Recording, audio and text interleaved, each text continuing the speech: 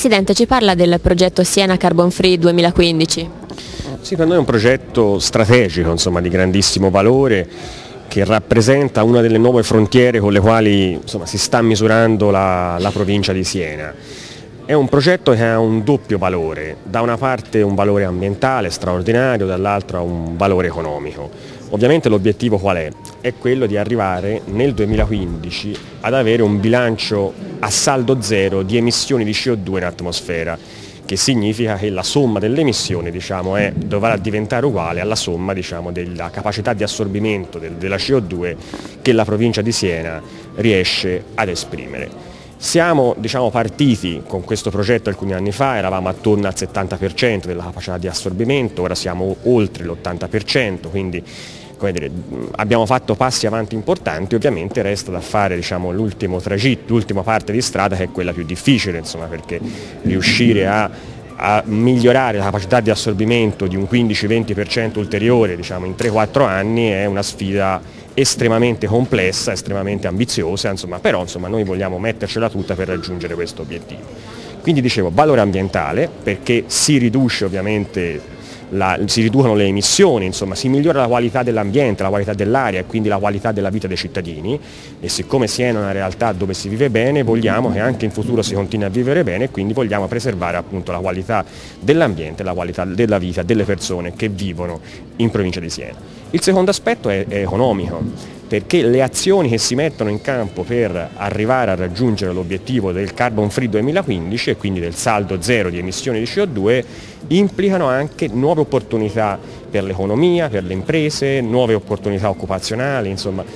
e qui ci stiamo misurando su tanti fronti, insomma, dalla, dalla promozione di, delle diverse modalità di produzione di energia elettrica da fonti rinnovabili, dall'efficientamento energetico, insomma, da azioni ad esempio di rimboschimento insomma, di, di, alcune,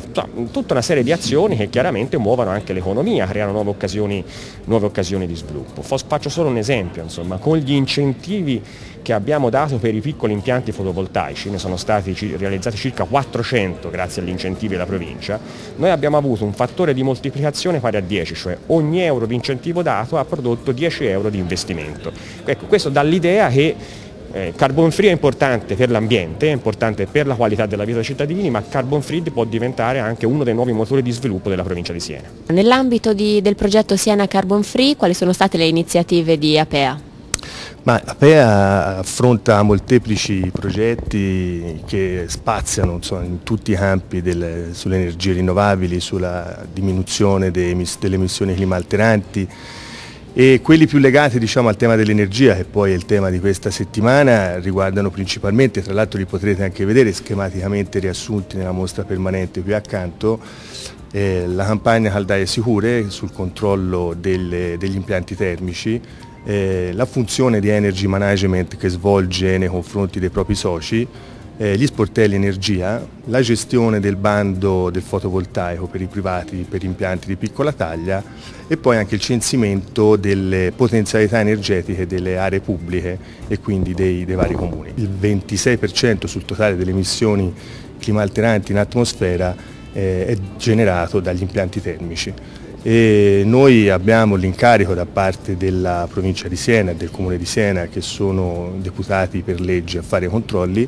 di fare appunto i controlli su tutte le caldaie della nostra provincia eh, che sono ben 90.000 quindi si capisce che anche pochi punti percentuali sul miglioramento dell'efficienza delle caldaie portano ad avere un miglioramento anche una diminuzione soprattutto delle emissioni eh, climalteranti. Sono state fatte delle proposte anche all'amministrazione provinciale per migliorare l'efficientamento dei propri edifici, sono state fatte proposte per 2 milioni di euro di investimenti e in più sono stati portati ormai a compimento i progetti che verranno messi a gara per installare su tre plessi di proprietà della provincia sempre degli impianti fotovoltaici di una potenza intorno a 20 kW